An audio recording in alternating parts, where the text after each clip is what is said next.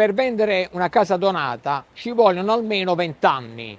Ma è davvero così? Facciamo chiarezza su questo punto. In realtà non è vietato venderla, ma possono sorgere dei problemi. Infatti uno degli eredi potrebbe contestare la donazione se non ha ricevuto la quota minima di eredità che gli spetta per legge. Questo significa che se avete venduto la casa, l'acquirente rischia di dover restituire l'immobile anche se l'ha già pagata. Ma allora come si può risolvere? Una possibile soluzione è far firmare agli eredi un atto di rinuncia alla donazione. In questo modo l'acquirente, con la sicurezza che nessun erede potrà contestare la donazione, può procedere con tranquillità all'acquisto dell'immobile ed anche la banca sarà più incline ad erogare il mutuo. Attenzione, questa è una delle possibili soluzioni.